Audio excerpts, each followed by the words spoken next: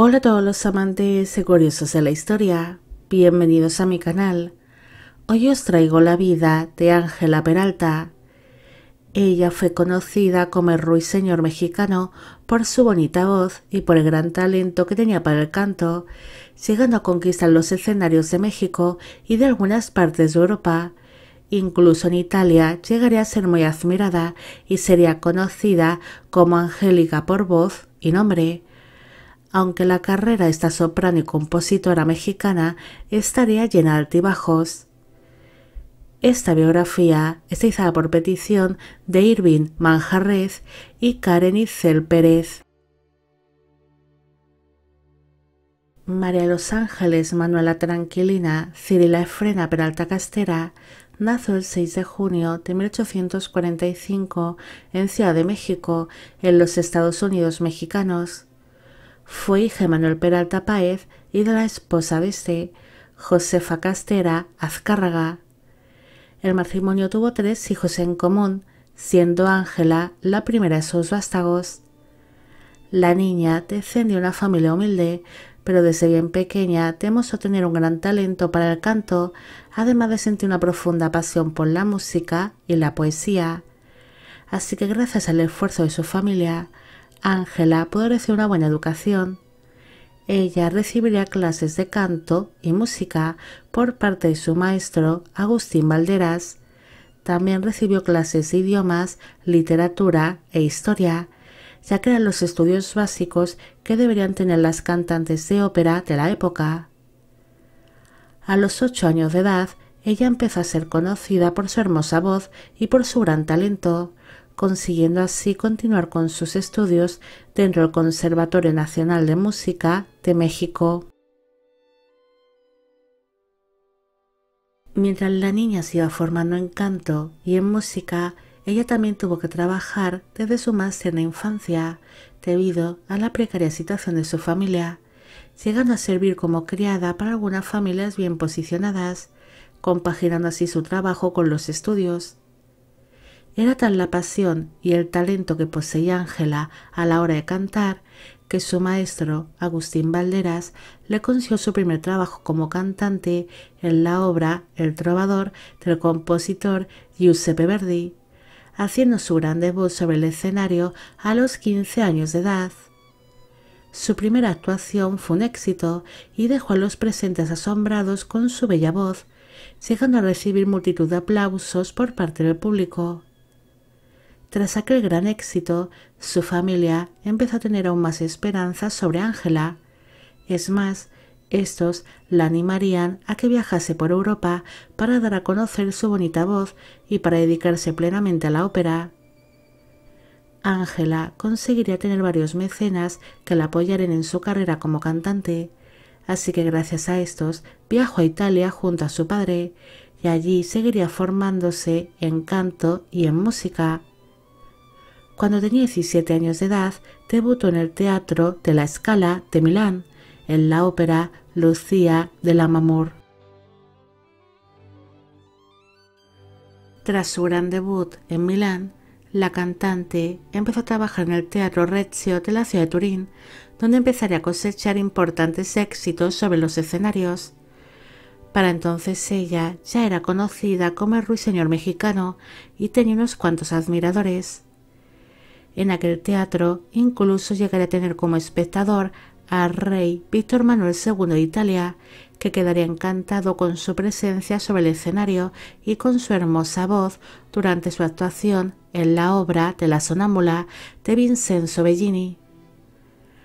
Ángela empezó a ser bastante conocida en la ciudad de Turín, incluso empezó a recibir algunas ofertas para trabajar en importantes teatros. Es así como inició una gira por distintas partes de Europa. En tan solo un año, ella llegaría a trabajar en ciudades como Roma, Nápoles y Florencia, aunque también daría el gran salto y llegaría a actuar en España, Portugal y Rusia. Incluso llegaría a cantar en las ciudades egipcias de Alejandría y El Cairo. Mientras la cantante está realizando su gira por los escenarios europeos, le llegó desde México una oferta para cantar entre los nuevos emperadores Maximiliano y Carlota. Ángela añoraba mucho su tierra natal, así que interrumpió su gira europea para regresar a México en el año 1865.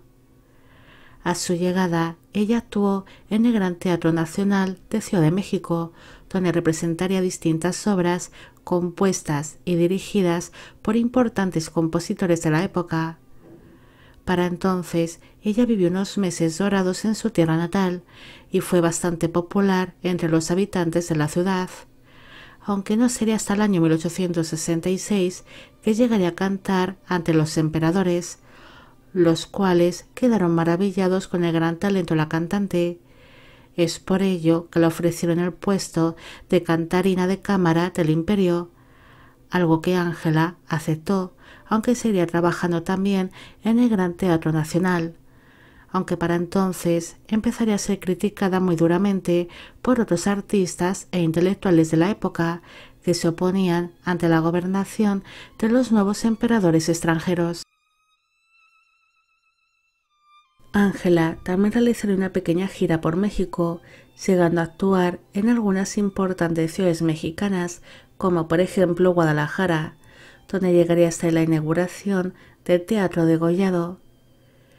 La estancia de Ángela en México tan solo duró un año, ya que hacia finales del año 1866 el Segundo Imperio Mexicano se empezó a desmoronar, así que la cantante decidió huir de México, logrando embarcarse a primeros de 1867 hacia Europa, aunque su barco atracaría por unos días en la ciudad de Nueva York y en La Habana, en Cuba, llegando a realizar alguna actuación en dichas ciudades mientras esperaba que su barco volviese a zarpar. Cuando Ángela llegó a la ciudad de Madrid, ella se casó el 20 de abril de 1867 con su primo materno, Eugenio Castera. Ella tenía 22 años en momento de la unión y el 25. Una vez casada, Ángela se retiró temporalmente a los escenarios, pero esto ocasionó que se iniciase su gran declive en el mundo de la actuación. La cantante se dedicaría a componer pequeñas piezas musicales, mientras que su marido se dedicaba a la literatura. Enseguida, su matrimonio empezó a ser muy infeliz y Eugenio empezó a dar signos de que padecía algún tipo de enfermedad mental al año de haberse casado. Es por ello que acabaría siendo internado en un hospital psiquiátrico en la ciudad de París, en Francia. Tras pasar cuatro años en España, Ángela decidió visitar su país natal, aunque durante su estancia en México decidió fundar su propia compañía de ópera, donde la cantante solía actuar frecuentemente volviendo a ganar cierta popularidad y algunos admiradores. Después, en el año 1872, ella regresó a Europa, donde iniciaría una pequeña gira por tierras italianas, pero no pudo continuar con su gira por el resto de Europa, debido a que su marido seguía en aquel hospital psiquiátrico de París y Ángela le visitaría de vez en cuando, sobre todo cuando sus problemas mentales aumentaron. En el año 1876 su marido falleció, así que tras guardar su respectivo luto, ella regresaría a México para dedicarse plenamente a su compañía de ópera y volver a representar los papeles que en su día le dieron la fama. A su regreso a México, ella inició un romance con el abogado y empresario mexicano Julián Montiel y Duarte, del cual estuvo profundamente enamorada pero cuando este romance salió a la luz, llegaría a ser un gran escándalo en Ciudad de México y la poca popularidad que Ángela había vuelto a cosechar se desplomó por completo. Ella empezaría a ser juzgada por su propio público y por los aristócratas mexicanos. Incluso estos pagarían una serie de personas para que asistiesen a sus actuaciones, para que la abucheasen y le lanzasen cosas al escenario. Así que la cantante hizo la promesa de no volver a cantar nunca más en Ciudad de México. Ángela continuó su romance con Julián, el cual llegaría a publicar algunas de las composiciones musicales que la cantante hizo durante su estancia en España. Mientras tanto, ella sigue realizando algunas actuaciones junto a su compañía de ópera en algunas de las ciudades más importantes de México. Pero para entonces tenía una mala reputación y su carrera como cantante fue cayendo en picado, llegando a tener serios problemas económicos. Ángela seguiría con su gira por México, pero dejaría de actuar en los teatros más importantes del país para empezar a actuar en escenarios más pequeños e improvisados. También empezaría a actuar junto a su compañía en ciudades y poblaciones más pequeñas, donde no se tenía en cuenta su mala reputación y donde era tratada con gran admiración. Como parte de su gira, Ángela llegó junto a su compañía a la ciudad de Mazatlán, en el estado de Sinaloa, el 22 de agosto de 1883. Allí serían muy bien recibidos por el pueblo y se hospedaron en el Hotel Iturbide de dicha ciudad. Se sabe que la cantante llega a realizar al menos una actuación y en ese momento fue descrita por un periodista que acudió a la actuación como una mujer que tenía algo de sobrepeso y de ojos saltones, pero que era agradable y que poseía una exquisita voz que se podía comparar con el canto de un jilguero. Para su desgracia, una epidemia de fiebre amarilla azotó la ciudad de Mazatlán mientras ella se encontraba allí, así que se acabaría contagiando de dicha enfermedad junto a unos cuantos miembros de su compañía.